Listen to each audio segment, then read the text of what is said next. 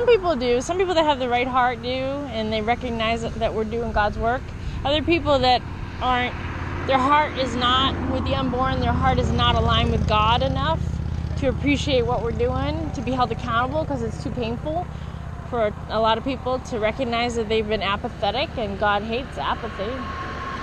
He'd rather have you be on one side or the other side, not on the fence, saying good words but not going, doing good deeds to back up your good words.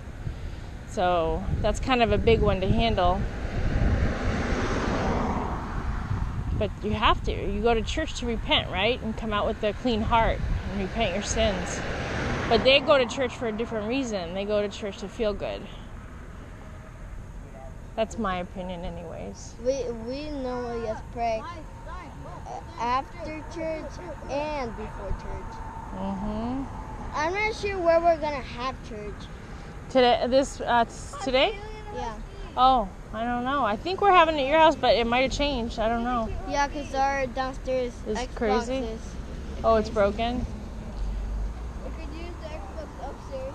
Yeah. Um. yeah, but we don't. We don't have the Xbox One S doesn't have the same cords as. I wonder. Matt has something that he plays it on. Morning. Can I give you some information? Those- Like yeah, at nice. Richardson, there was uh, high school. Matt, there was uh, a lady in the car wanted um one of those, a pamphlet, Mhm. and there was a fire alarm right here. He, Oh. And he was standing behind it, and he just went and gave it to her. Um, and the cop just came up and said, "Don't pass that." Wow. What if you wanted to cross the driveway? Would he have arrested you? Crazy police sometimes are crazy.